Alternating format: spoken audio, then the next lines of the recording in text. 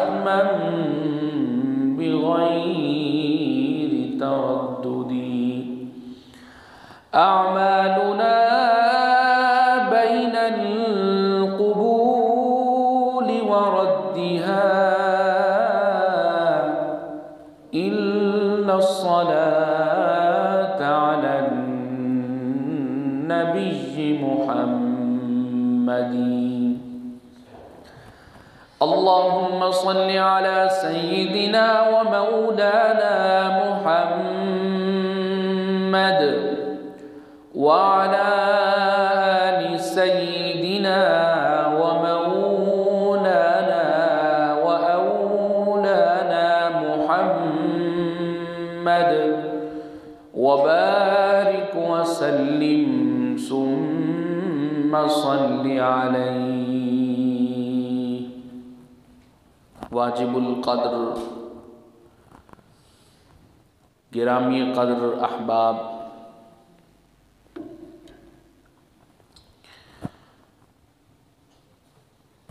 एक मोमिन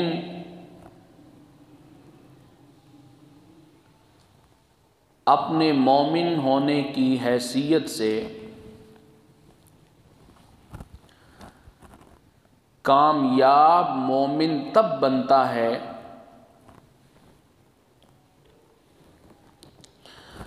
कि जिस वक़्त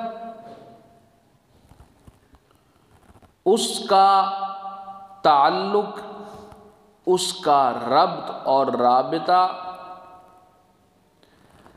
अपने रब के साथ भी दुरुस्त हो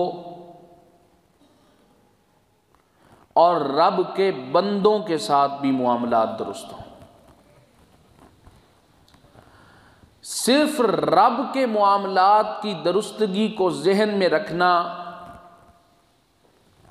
और मखलूक के मामलात से सरफ नज़र रखना, इससे मोमिन की कामयाबी के चांस कम हो जाते हैं, बल्कि कामयाबी अधूरी रह जाती है। इसी तरह अगर कोई सिर्फ़ मखलूक के मामलात की तरफ़ तवज्जो रखे और खालिक के मामलात को भूल जाए, कामयाबी फिर भी अधूरी रह जाती है। मुकम्मल और अहसन और अकमल और अजमल, कामयाबी तभी नसीब हो सकती है कि मेरा और आपका खालिक से भी ताल्लुक ठीक हो और उसकी मखलूक से भी ताल्लुक ठीक हो। अब खालिक से मामलात की दुरुस्तगी नाम है इबादत का। इबादत को समझ के कीजिए, वो राज़ी है। और मखलूक से मामलात की दुरुस्तगी नाम है खिदमत का। खिदमत कीजिए, मखलूक राज़ी हो जाएगी। तो खालिक को राज़ी करना है इबादत के ज़रिए। और मखलूक को राज़ी करना है खिदमत के ज़रिए। बस ये दो चीज़ें हैं। खालिक की इबादत कीजिए सुन्नत के मुताबिक। मखलूक की खिदमत कीजिए, खालिक की दी हुई तालीमत के मुताबिक। अब ये बंदा सौ फ़ीसद अल्लाह की रहमत से कामयाब हो गया। जन्नत बड़ी महँगी थी, लेकिन सबका उम्मतों के लिए। मेरे और आपके लिए जन्नत सस्ती कर दी है रब ने। बस ये दो मामलात। फिर ये जो मखलूक की खिदमत है,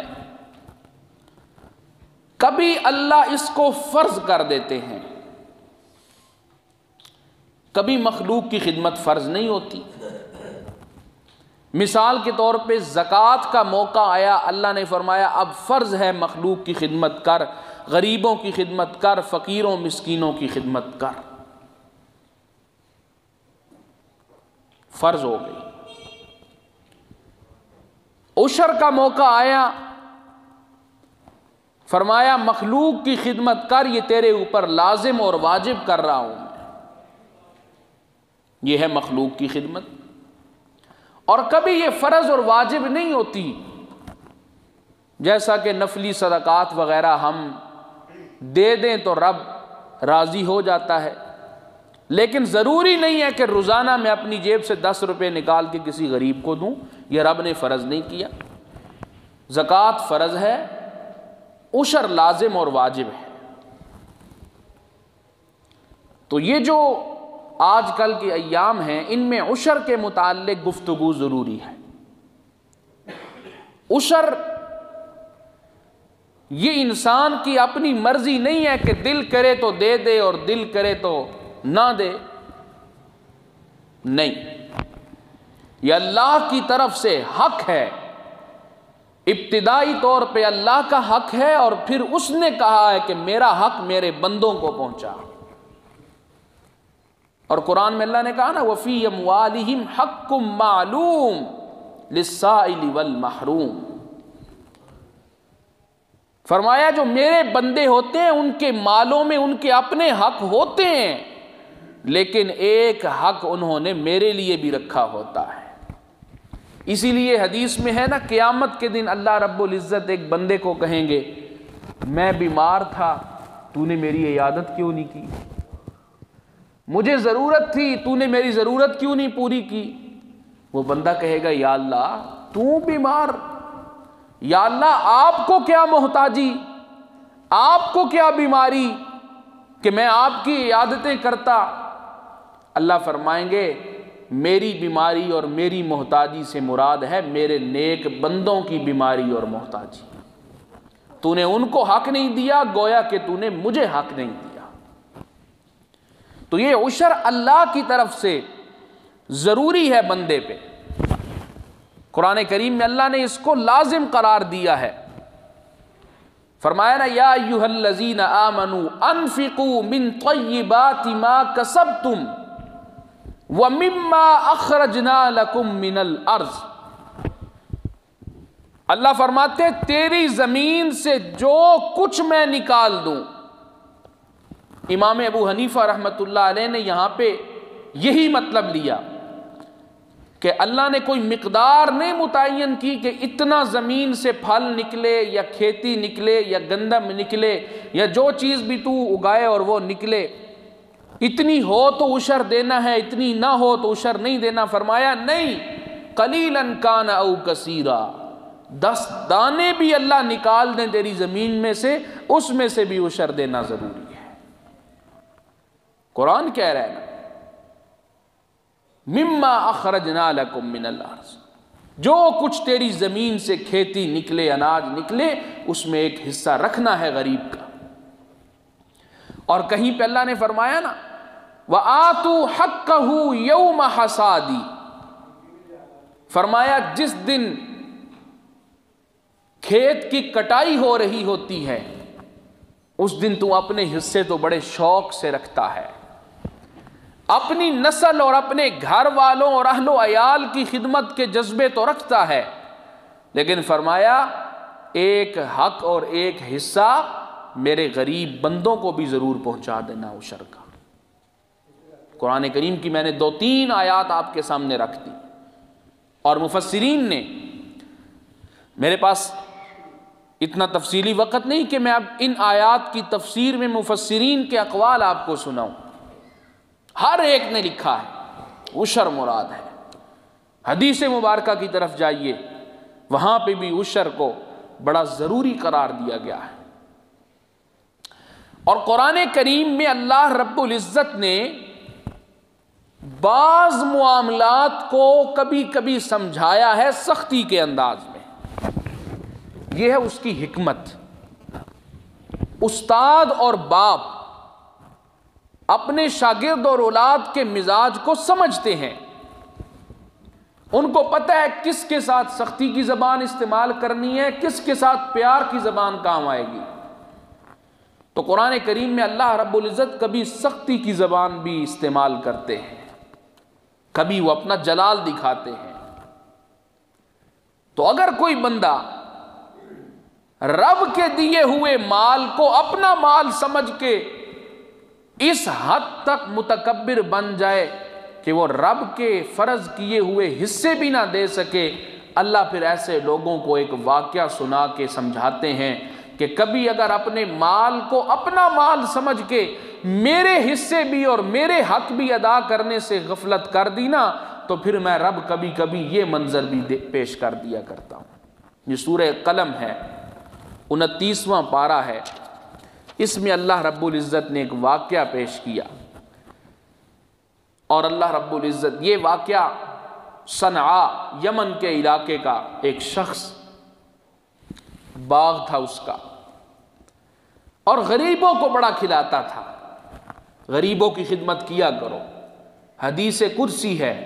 अल्लाह फरमाते हैं, उतलुबुल्लाह इंदा मुनकसरतिल कुलूब। बड़ी कोशिशें करते हो, रब को राज़ी कर लें। रब को पालूं, रब से मेरी मुलाकात हो जाए।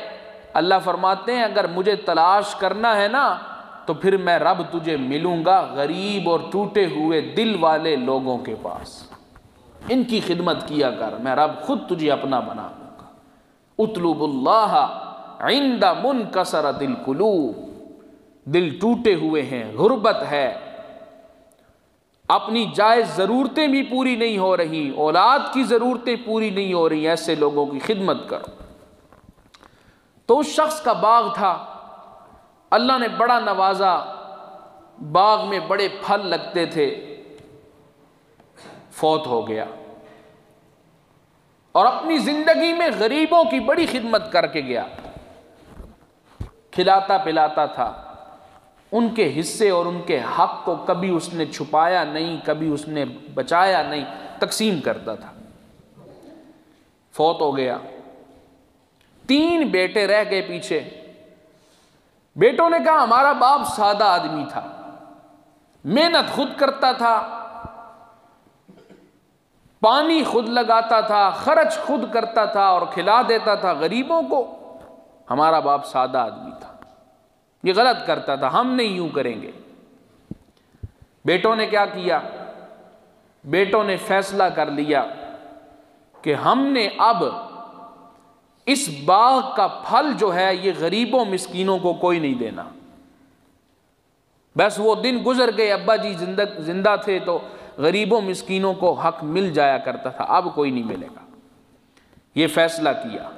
ये मैं वाक्य क्यों शुरू कर रहा हूँ? ये समझाने के लिए कि अगर उशर, ज़क़़त और रब के बताए हुए मसारफ पे ख़र्च ना किया तो रब ये अंजाम भी बाज़ करते हैं मालदारों का।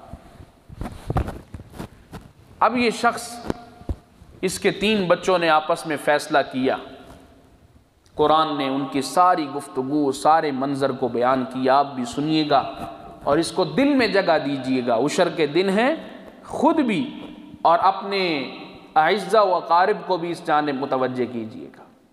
कुरान करीम है। अल्लाह फरमाते हैं, इन्ना बलौना कमा बलौना असहाबल जन्ना। फरमाया, यमन के इलाके में कुछ लोग थे बाग वाले असहाबल जन्ना। उनका अपना बाग था। बाप फोत हो गया। बेटों ने आपस में मशवरा किया, कुरान ने कहा इस अकसमू लयसरी मुन्नहा मुस्बिहीन। आपस में बैठ के तीन बेटों ने, भाइयों ने कस्में उठा के हलफ लिए और वादे किए। क्या वादा किया कि आज कल जो सुबह होगी, सुबह के वक़्त हमने जाके अपने बाग के फल उतारने सुबह सुबह जाना है, मुस्बिहीन, ताकि दोपहर का वक़्त हो, सही सूरज चढ़ गया हो, वो वक़्त हो तो फिर ये फ़कीर मिस्कीन आ जाएँगे मांगने के लिए, फिर देना पड़ेगा इनको। इसलिए हम सुबह सुबह जाके अपनी बाग का फल उतारेंगे। अल्लाह फरमाते हैं वलायस्तस्नून आपस में कसम तो उठा ली, लेकिन लायस्तस्नूना उन्होंने गरीबों का हक उससे अलहदा करने की बात तय नहीं की लायस्तस्नून इसके दो तीन माने किए मुफसरीन ने। एक माना तो आम आप सुनते रहते हैं इन नहीं कहा था। वो बात भी ठीक है। लेकिन मुफसरीन फरमाते हैं इन ना कहने की इतनी बड़ी सज़ा नहीं हो सकती। तो लायस्तनून का माना तफसीर मजहरी में मुफसर मजहरी ने लिखा कि उन्होंने गरीबों का हक अलहदा ना करने की बात तय कर उन्होंने कहा, नहीं देना गरीबों को। अब उन्होंने आपस में बात तय कर ली। सुबह का वक़्त तय हो गया। अभी सूरज सही तुलू नहीं होगा। अंधेरे में जाके हम अपने बाग का फल उतारेंगे। अल्लाह फरमाते हैं, उधर ये रात को इन तीन भाइयों ने गरीबों के साथ तामुन ना करने के हलफ और कस्में उठाई। उधर रात को मैं रब के गजब को भी जोश आ गया। अल्लाह फरमाते हैं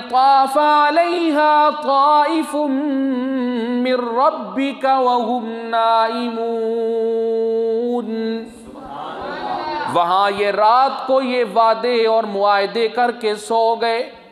और दूसरी तरफ़ क्या हुआ कि उसी बाग में रात के वक़्त तेरे रब की तरफ़ से एक अजाब आ गया। कोई अजाब आ गया। मुफसरीन ने इसकी तोजीहत लिखी हैं। अपने अपने ज़ौक़ के मुताबिक आग आई, हवा चली या कुछ भी हुआ। बहरहाल अल्लाह फरमाते हैं, वो वहाँ सोए हुए हैं और इस तरफ़ बाग सारा जल चुका है, राख हो चुका है। कुरान ने नक्शा खींचा। अल्लाह फरमाते हैं फ़सबहत कसरीब अब सुबह हुई बेटों के दिल में ये बात है, जाएँगे, फल उतारेंगे, बेचेंगे, कुछ खुद खाएँगे, कुछ बेच के अपने लिए माल जमा कर लेंगे। लेकिन वहाँ रब का गजब वहाँ चक्कर लगा चुका है।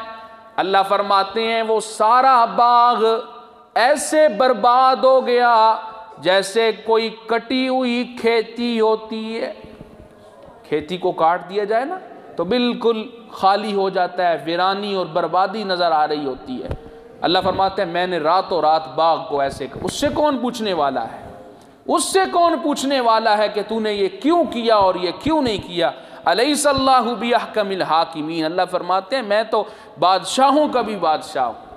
मुझसे क्यों करके सवाल ना कर बैठना? अब क्या हुआ? रातों रात उस बाग को अल्लाह ने तबाह बर्बाद कर लिया। और दूसरी तरफ़ उस तीन भाइयों का मंजर कुरान पेश करता है। फरमाया फतना मुस्बिहीन। अब यहाँ सुबह का वक़्त हुआ सहरी का वक़्त है, अंधेरे का वक़्त है। वो तीनों भाई जागते हैं, एक दूसरे को तना दो आवाज़ें देने लगे। जैसे बंदा किसी को जगाता है ना, चलो भाई उठो, लेट ना हो जाए। रात को जो हमारा मुआदा हुआ था कि सुबह सुबह अंधेरे में जाके बाग काटना है, कहीं देर ना हो जाए। चलो, उठो, चले। अल्लाह फरमाते हैं फतना दऊ मुस्बिहीना। सुबह सुबह उन्होंने आवाज़ें बुलंद की, अनिगदू आला हरसिकुम इन कुन तुम सारिमीन। चलो ना यार, चलते हैं जाके अपना बाग काट के। अपने मंसूबे पे पहरा देना है कि गरीबों को बाग में से हिस्सा। मेरी को बात समझ आ रही है आपको कि इन भाइयों ने गरीबों के साथ ताउन ना करने की आपस में बात तय की थी। अल्लाह ने इन पे अजाब मुसलत किया। कुरान आगे मंजर खींचता है। फरमाया फन तीनों भाई बेदार हुए। औज़ार उठाए जिसके ज़रिए फल काटने और सुबह सुबह चल रहे हैं। वह यतखाफतून। और आपस में आहिस्ता आहिस्ता बातें कर रहे हैं, सरगोशी कर रहे हैं ना? और कहते क्या है? अल्लाह मिस्कीन। ओ भाइयों, ख्याल करना जो बात रात को तय हुई थी कि आज अपने बाग की पैदावार से किसी गरीब मिस्कीन को नहीं देना, इसका खूब ख्याल रखना। जल्दी जल्दी चलो। किसी को पता ही ना चले कि आज हम अपनी बस्ती से निकल के बागों की तरफ़ जा रहे हैं और लोगों के बेदार होने से पहले पहले फल काटने हैं, मंडी में पहुँचा के तक अपना बेच के अपना काम चलाएँगे। अल्लाह यद खुलन्नहल यौमा अलैकुम मिस्कीन। आगे अल्लाह ने बड़ा अजीब अंदाज अपनाया। अल्लाह फरमाती हैं वाला हर दिन कादरी अब ये सुबह सुबह चल रहे हैं, अला हर दिन अपने दिल में पूरे मुतमिन है कि आज हमारे, हमारा बाग और उसका फल किसी गरीब को नहीं मिलेगा। अला हर दिन पूरी तैयारी में है कि आज किसी गरीब को फल नहीं मिलेगा। अल्लाह फरमाते हैं, चलते चलते ये आपस में मुशावरत करते, सरगोशियाँ करते हुए बाग में पहुँचे हैं। जब बाग में पहुँचे तो अजीब मंजर, फलम्मा कालू जब वह बाग के पास पहुँचे, उनके जहन में तो कल वाला मंजर था कि फल लगा होगा। जी, बेहतरीन फ्रूट होगा, हम उतारेंगे, पैकिंग करेंगे, मंडी में पहुंचाएँगे, बेचेंगे मंसूबे जहन में थे। अब ये सुबह सुबह अपने बाग में पहुँचे तो देखा कि बाग तो सारा उजड़ा हुआ है तो आपस में कहते हैं, इन्ना लजालून। लगता है हम रास्ता भूल गए हैं। गलत जगह पे आ गए। हमारा बाग तो बड़ा बेहतरीन तैयार था, फल उसके लगे हुए थे, ये तो सारा उजड़ा हुआ है। ऐसे लगता है यहाँ तो रात को आग लगी रही है, ये हमारा नहीं है। अल्लाह फरमाते हैं, कालू इन्ना लजालून आपस में कहने लगे, नहीं भाई, लगता तो ये है कि हम रास्ता भूल गए हैं। लेकिन फिर गौर किया, अपनी ज़मीन है, बंदा कैसे भूल सकता है? गौर करने के बाद अफसोस करके कहने लगे, बल नहनु महरूम नहीं भाई, और रास्ता नहीं भूले। हकीकत तो ये है कि रब ने हमें इस रिजक से महरूम कर दिया है। तो क्यों महरूम किया था? गरीबों का हक ना देने की बातें चल रही थी घर में और ख़ानदान में कि उशर नहीं देना, लोगों के साथ ताउन नहीं करना। अल्लाह फरमाते हैं, काल अब ये भाई परेशान है। परेशानी तो होती है भाई।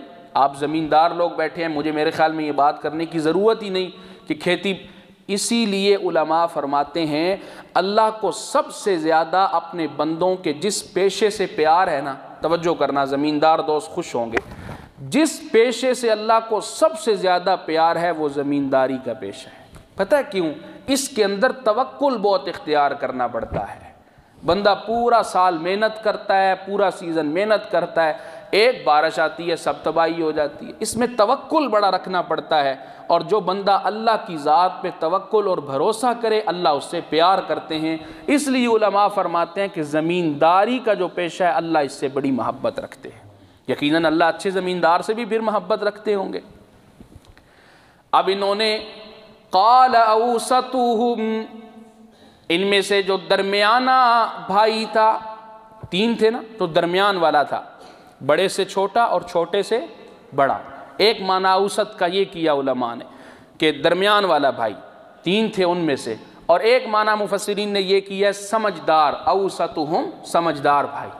बहरहाल, एक उनमें से बोल के कहने लगा, अलम अकुल्लकुम लौला तुसब्बिहून।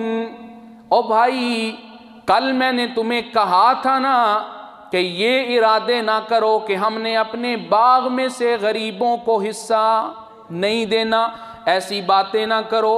अल्लाह फरमाती हैं, जब सारी बात खुल के आ गई, घर की गवाही आ गई, उन्हीं भाइयों में से एक ने बोल के अपनी गलती तस्लीम कर ली कि हमसे ये गलती हुई है, जिसकी वजह से अल्लाह ने हमारे बाग को तबाह कर दिया है। तो उस वक़्त वो सारे भाई बोल के कहने लगे, सुबहाना रब्बिना, इन्ना कुन्ना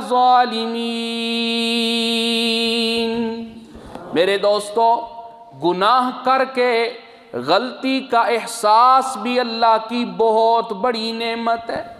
जिस बंदे से गुनाह हो जाए ना, और गुनाह के बाद दिल में निदामत के आँसू आ जाए, आँखों में आँसू आ जाए, दिल में निदामत का एहसास आ जाए ऐसे बंदे को मुबारक है कि उसका ज़मीर ज़िंदा है।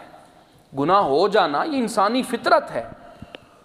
हो जाते हैं गुनाह, लेकिन गुनाह करके गलती का एहसास उजागर हो जाना, ये असल कमाल है।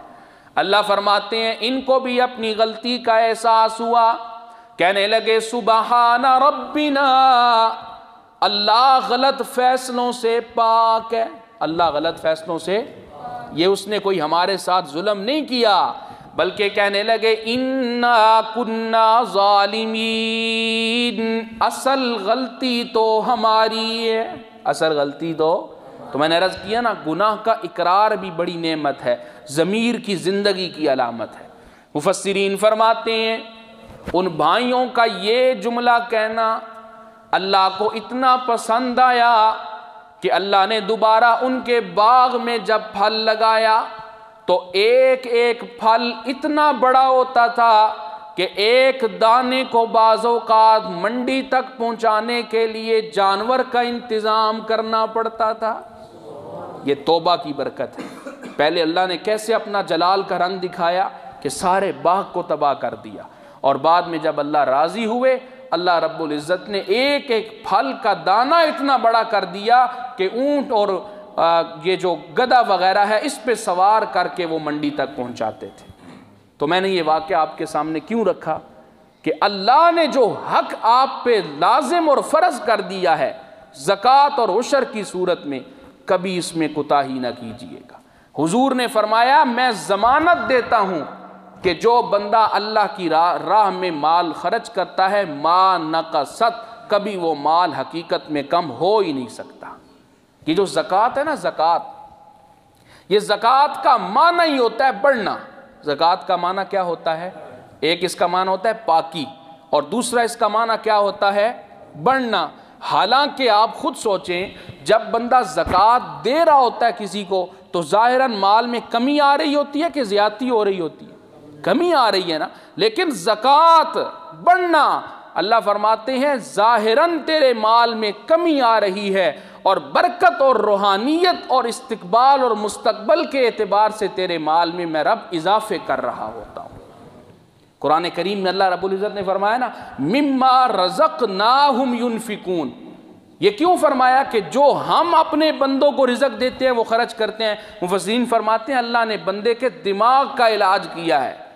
बंदे के अंदर बाज़ अवत माल का तकबर आ जाता है। अल्लाह फरमाते हैं, जो तेरे पास माल है ना, जिस माल की वजह से तू अपने आप को चौधरी, मलक और वडेरा समझता है बिम्मा रजक ना हूँ ये तेरा है ही नहीं, ये तो हमारा है।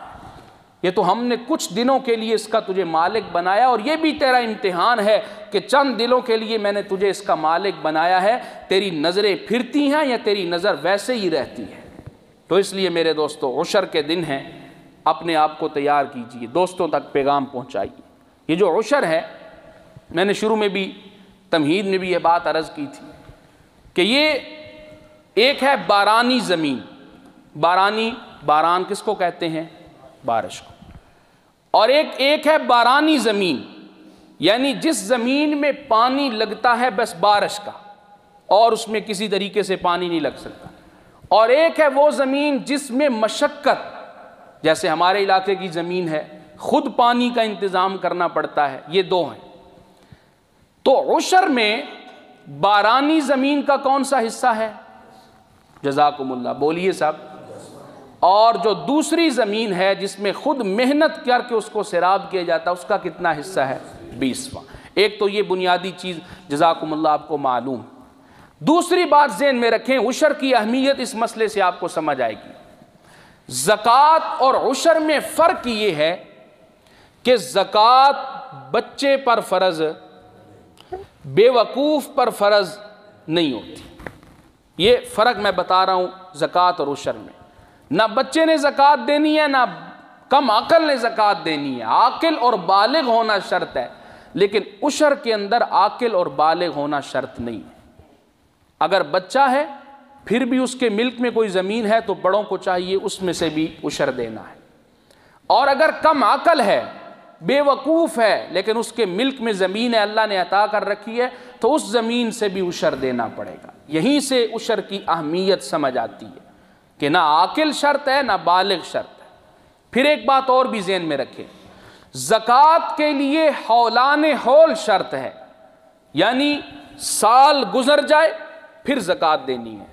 लेकिन उशर के अंदर साल वाली शर्त भी नहीं है, बल्कि बाज़ महक्कीन और फुकहा ने यह भी लिखा है कि अगर अल्लाह मेहरबानी कर दें, किसी बंदे के खेत में, बाग में कोई फल, कोई चीज़ बार बार उग उग जाती है। तीन चार माह के बाद फिर उगाई फिर उसने फरमाया, जब वो चीज़ काटेगा, जब वो उस खेती को काटेगा, उस बाग से फल उतारेगा, जब जब उतारेगा, चाहे साल के अंदर एक से जायद मरतबा भी हो तो ऐसे बंदे को दोबारा उशर देना पड़ेगा। ये इतनी अहम चीज़ है उशर। कि एक मरतबा से काम नहीं चलेगा। और फिर इसमें एक बात और भी जेन में रखें कि उशर के वाजिब होने के लिए कुछ शर्तें हैं। उशर कब वाजिब होता है? अब ये शर्तें आपने जेन में रखनी है और फिर नज़र दौड़ानी है कि हमारे अंदर ये शर्तें पाई जा रही हैं कि पहली शर्त है मुसलमान होना। पहली शर्त क्या है जी? मुसलम, ये उशर की पहली शर्त। क्यों? उशर ये इबादत है। बोलिए, उशर ये और इबादत महल है और इबादत अमल है किसका? मुसलमानों का। काफरों ने इबादत नहीं करनी होती।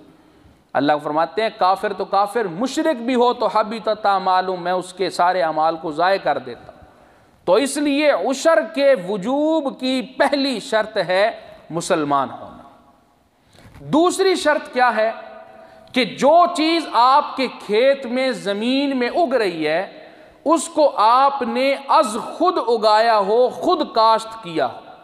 एक है, बाज़ कोई ऐसी घास होती है खुद रो कहते हैं जिसको, खुद ही उगाती है, बगैर मेहनत के, बगैर दाना और बीज डाले के। ऐसी चीज़ उस पर उशर नहीं।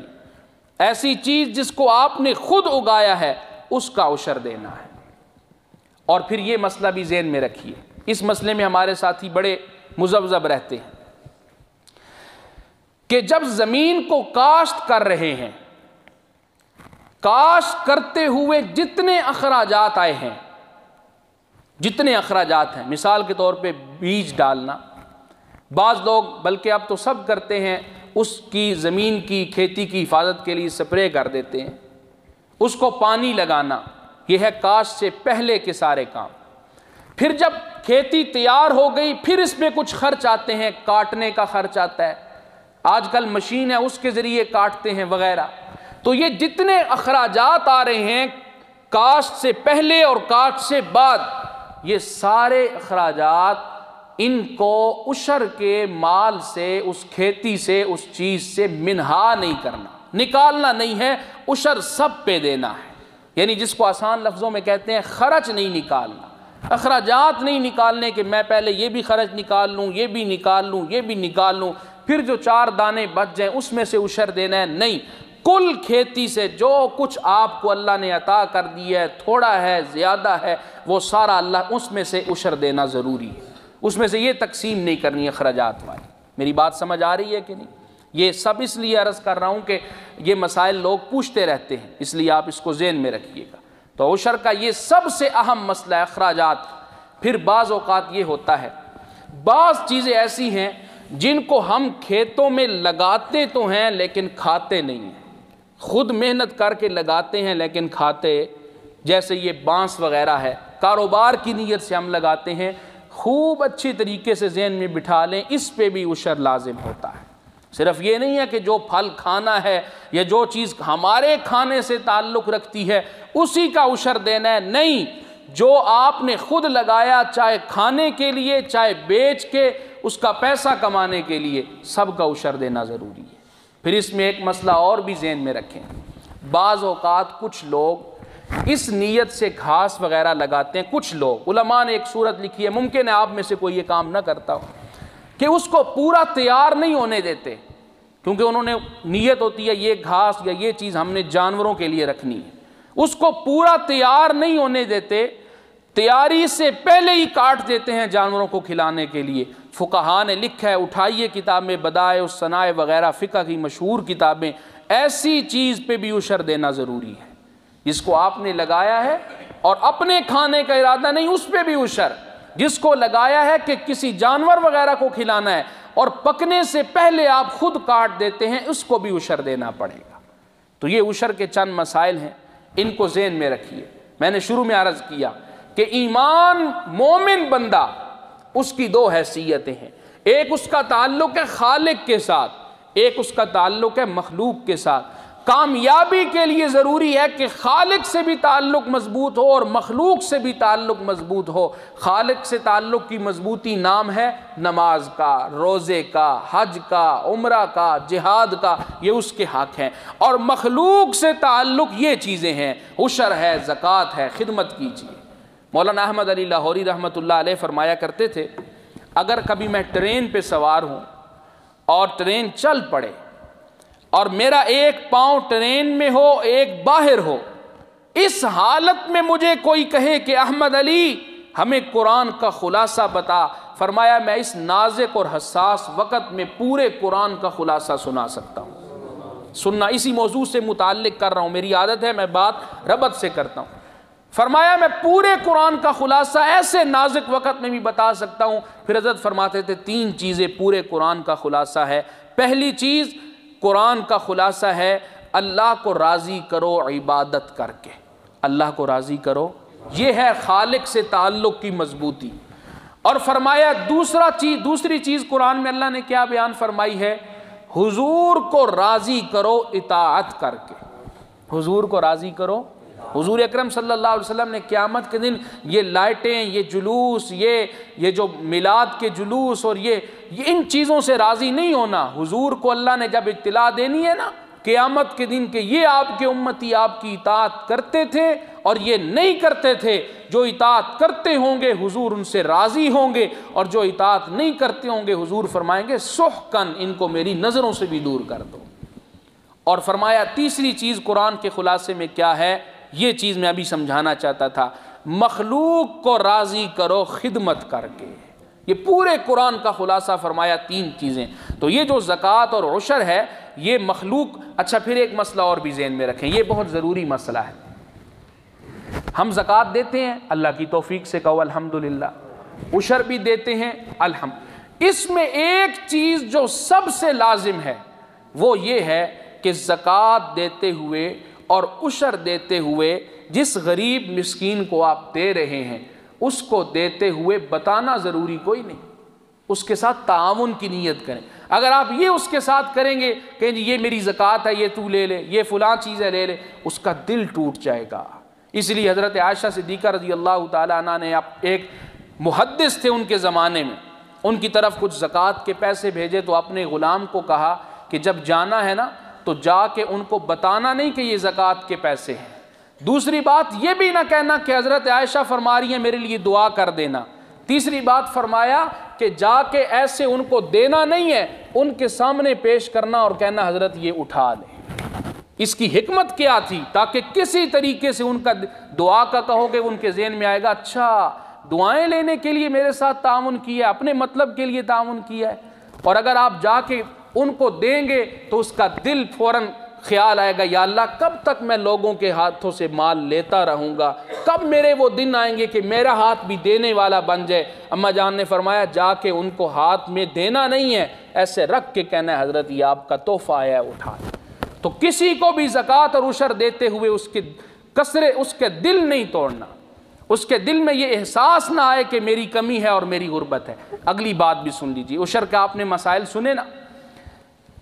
उशर के मसारफ, जहाँ जहाँ उशर देना है, वो कौन से हैं? उशर के वही मसारफ हैं जो ज़क़़त के मसारफ हैं।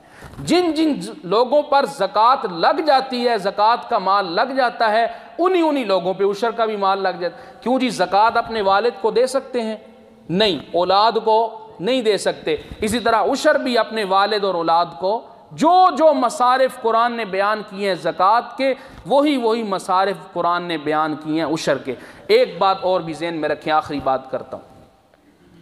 मौजूदा दौर में उशर के मसारफ तो बड़े हैं, लेकिन अला वजिल बसीरत अर्ज़ करता हूँ उलमा की तालीमत की रोशनी में, सबसे बेहतर मसरफ इस दौर में उशर का खसूस वो आपके दीनी मदारस हैं। इसमें आप खर्च करेंगे तो दो सवाब मिलेंगे। एक तो उशर देने का, इबादत का सवाब मिलेगा। दूसरा, ये दीन के तालब इल्मों की खिदमत का सवाब भी अल्लाह आपको अता करेंगे। तो इसलिए उशर के इन ज़रूरी मसाइल को अपने जहन में रखिएगा। अल्लाह ताला मुझे और आपको तमाम इबादत को पहले समझ कर फिर उन पर अमल की अल्लाह रब्ज़त तोफ़ी अता फ़रमाएँ। आखिर में मैं एक ज़रूरी ऐलान करना चाहता हूँ। सत्रह नवंबर बरोज़ बुध, आने वाला बुध। हमारे इस पूरे जमीयत इशाद तोहद व सुन्ना तहसील कामों की, ये पूरा तहसील कामों की को हमने नाम दिया हुआ है हल्का अली मुआविया रज़ी अल्लाह उसके तहत हमारा दूसरा सालाना इशात तोहद व सुन्ना कन्वेंशन हो रहा है। हज़रत वालद गिरामी की तरफ़ से खसूसी तौर पर मुझे हुक्म था कि मैं ऐलान करूँ। आप तमाम मेरे नौजवान दोस्त और मेरे बुज़ुर्ग सब हजरात से गुजारिश करता हूँ, सत्रह नवंबर को बासी वाला ये करीब गाँव है उसकी मरकज़ी जाम मस्जिद मोहम्मदिया में हमारा सालाना कन्वेंशन है। इन मकामी के भी बयान हैं और फिर हमारी जमात के मरकज़ी दो मुबलक तशरीफ़ ला रहे हैं। आपने इश्तहार देखा होगा, उनके बयान हैं। आप तमाम खसूस नौजवान हजरात तशरीफ़ लाएँगे ना इन अगली बात, इसका ऐलान भी मैं ही कर देता हूँ। चूँकि ये पूरे हल्के का काम है, इसलिए इसका जो ख़र्च होता है कन्वेंशन का, वो भी पूरा हल्का मिल के करता है। तो हमारे इस मस्जिद और मरकज़ के ज़िम्मे पाँच हज़ार रुपये जमात की तरफ़ से है। उसमें भी मैं आपसे गुजारिश करूँगा, कोई एक साथी हिम्मत फरमा ले या कुछ मिल के नमाज़ के बाद उस्ताद मौलाना मोहम्मद उस्मान साहब को कन्वेंशन का ताउन भी ज़रूर करके जाएँ। ये भी तालीम और ताल्लुम के साथ साथ ये भी हमारा ही फ़र्ज़ है जमात का काम करना, तोहद सुन्नत का काम करना। अल्लाह ताला करने की तोफ़ी अता फ़रमाएँ। वमा अलैना मुबीन।